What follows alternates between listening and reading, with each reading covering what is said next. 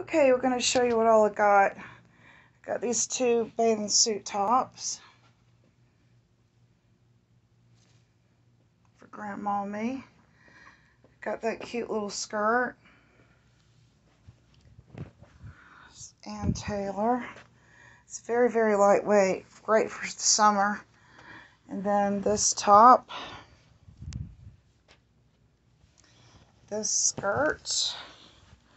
Another Ann Taylor to go with my leather boots. Brassiere. Little white top. Just little white shirt. Got this little sweatshirt. It says Los Angeles in tiger print. Got my costume here already for Halloween that was in the stuff I got. Then this cute little top here I thought was nice. That scarf right there. Then I got this cute little dress.